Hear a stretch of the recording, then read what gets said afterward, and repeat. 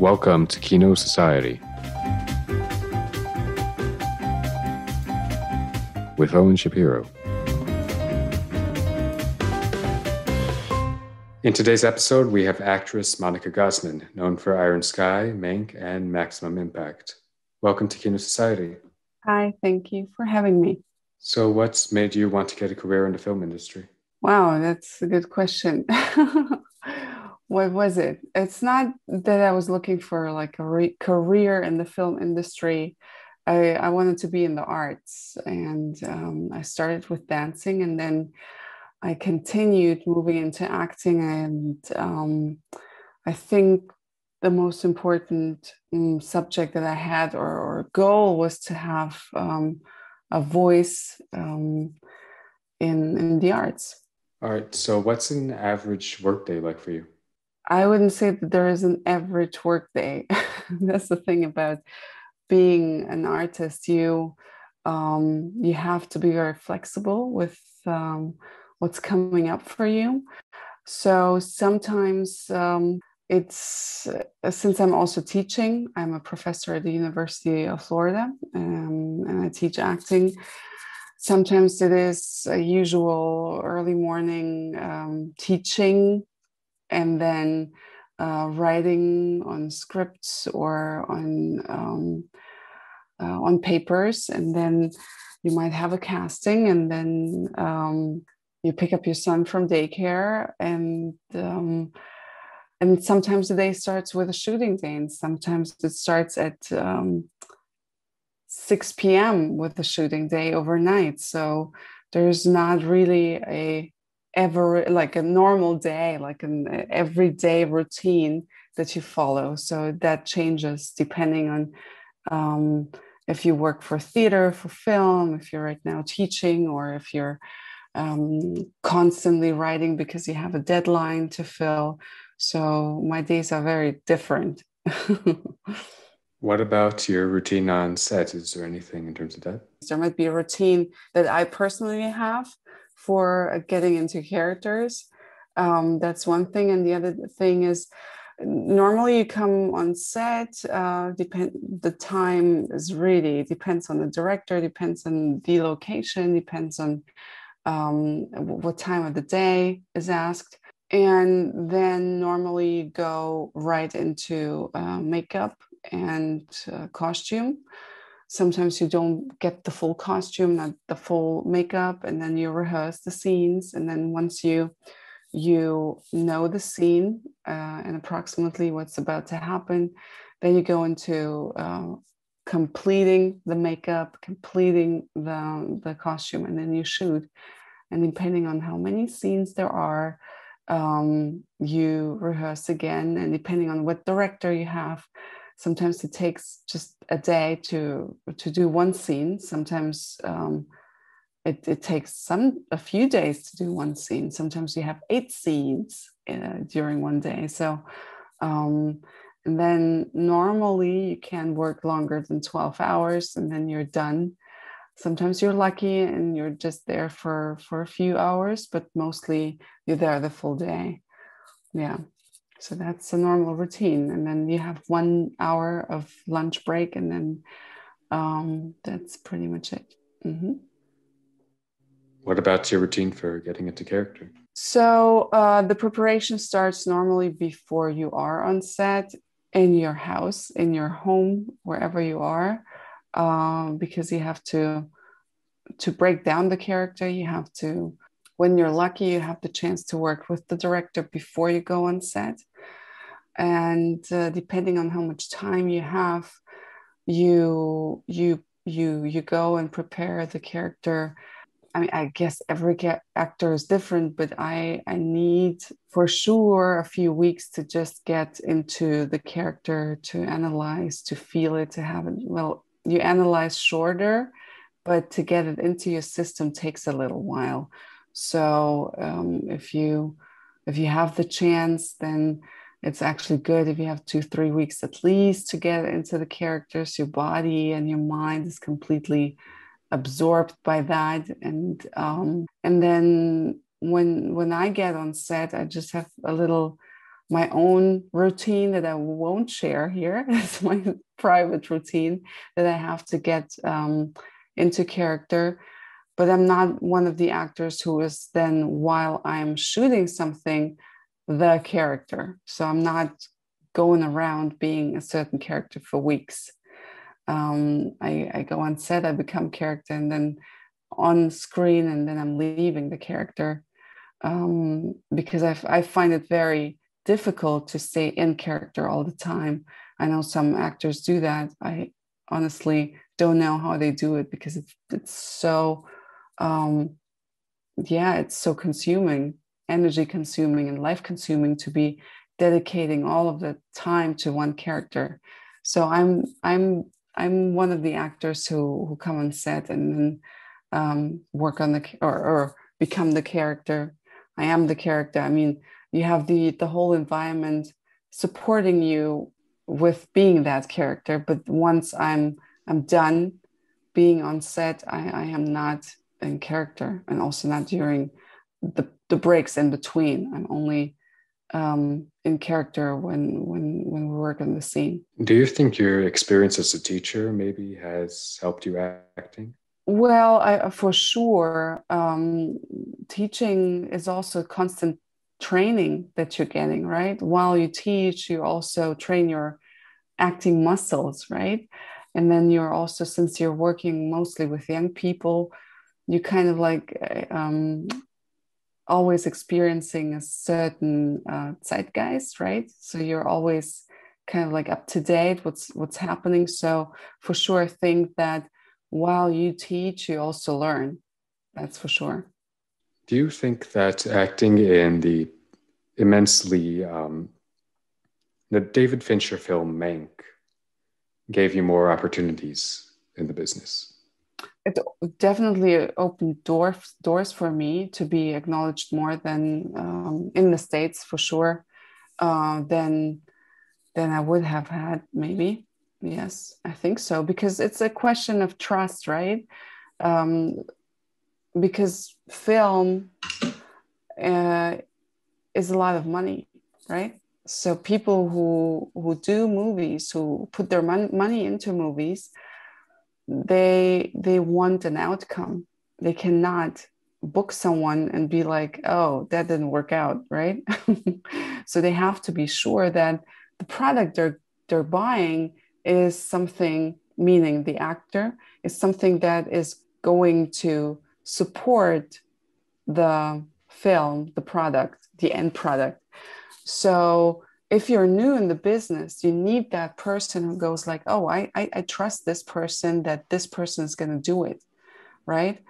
So once you have that director who trusted you, then the other ones are more likely to be like, oh yeah, we can, or directors and also film productions and also streaming um, companies or, or like um, uh, channels, they're more likely to book you because they know oh she or he, he they worked with this and this person and th- they work for this and that channel. That means we're working with a professional.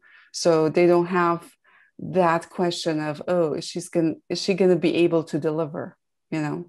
So yeah for sure that's very important. So how much of acting do you think is talent and how much of it is hard work uh, maybe a bit of creativity? I, I really think that some people have a lot of talent, but they are not willing to learn. And some people have maybe less talent, but they're hard workers.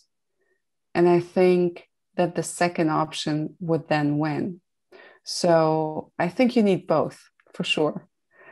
Uh, but it's it's a question of how much effort do I need to put into this, depending on how much talent I'm bringing in, right? So it's it's it's it's a difficult question to to be answering oh you just need to work or oh you just need to have talent i think it needs both and and some people have more talent and some people have less but depending on how much work you put in you're going to get the results even though maybe you have less talent right because by the end of the day um, it's it's also it's it's a job, right? It's it's something you can learn. So, which of your works are you most proud of, and maybe are there any that were particularly challenging to pull off? Well, in general, for now, I um, I think that I have more theater work that that that brought me to certain limits. I would say, right, when you're on stage for two hours, performing in the foreign language, um, and uh, so I think that for now in my career, these were the roles who who really um, gave me that stamina to perform also on on film, um, not only on stage.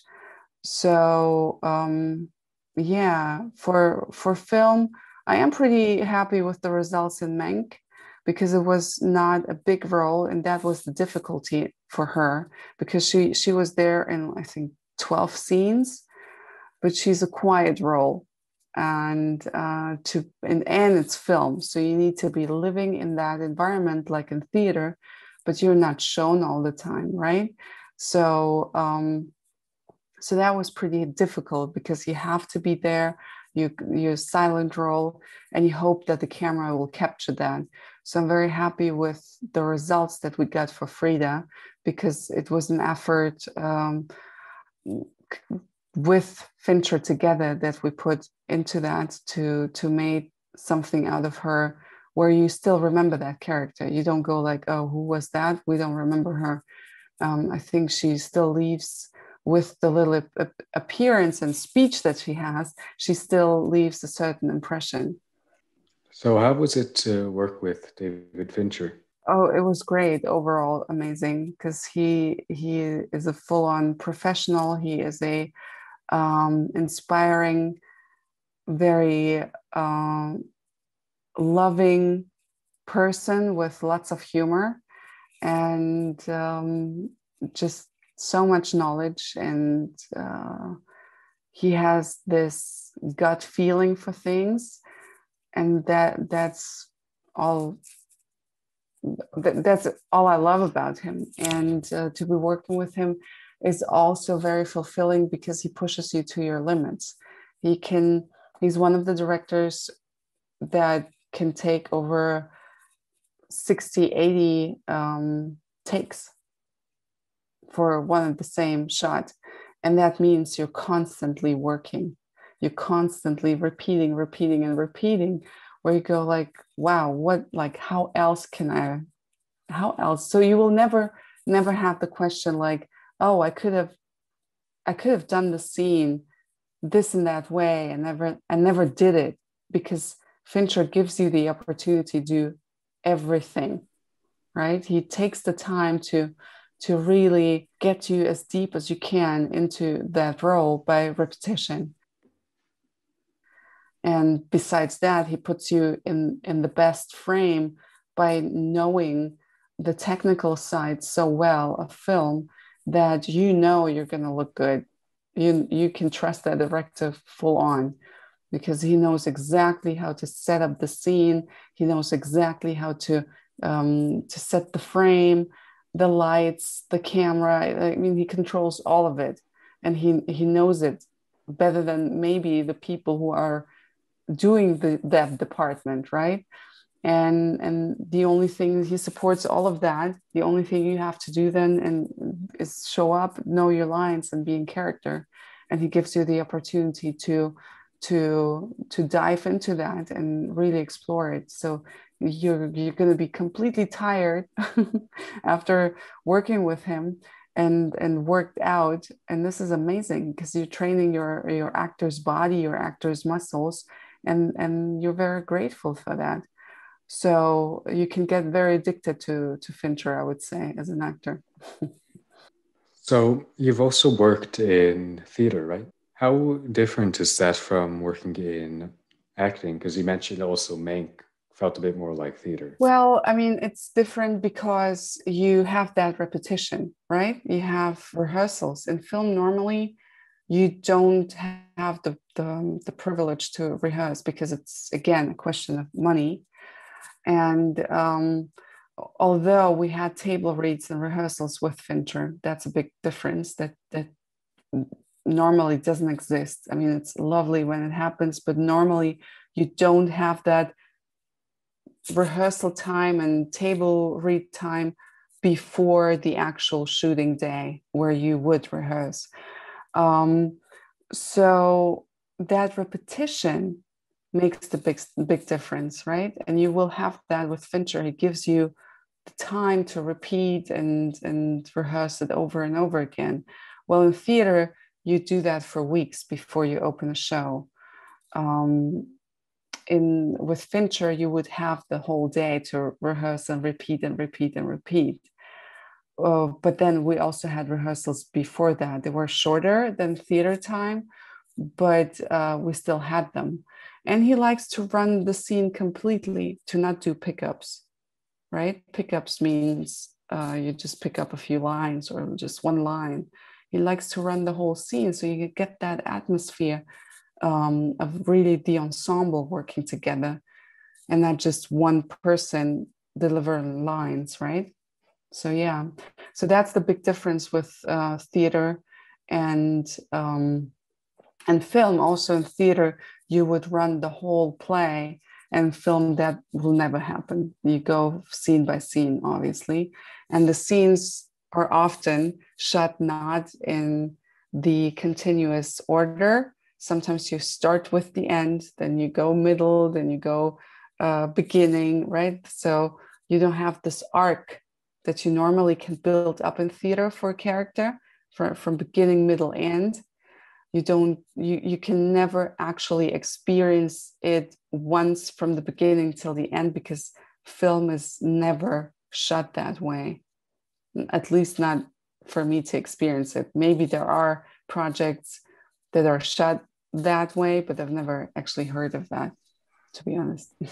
So, do you have any favorites, movies, directors, or actors? Of course, I do have that. Um, well, funny enough, Fincher is one of my favorite. He's the favorite actor that I always had. I grew up, um, my childhood, um, or more so my my teenage um, time was filled with Fincher movies, and I continued watching uh, his movies. I really, really like his um, way of shooting, his uh, rhythm.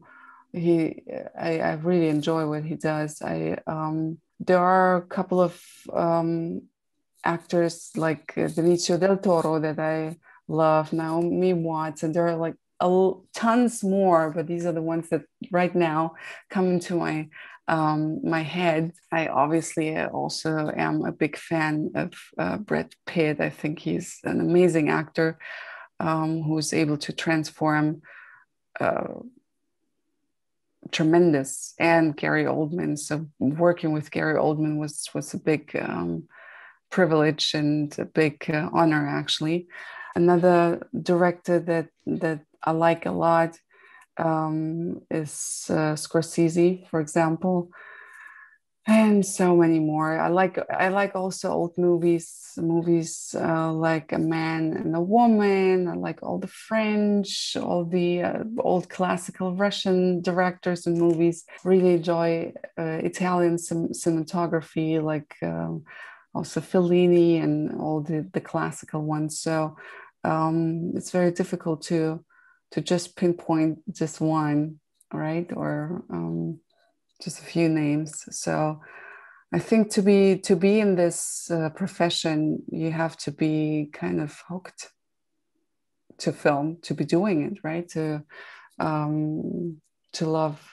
Me personally, I love different genres, different styles and eras of movie. They have their own reason to be here, to be acknowledged, and to still continue living a good movie.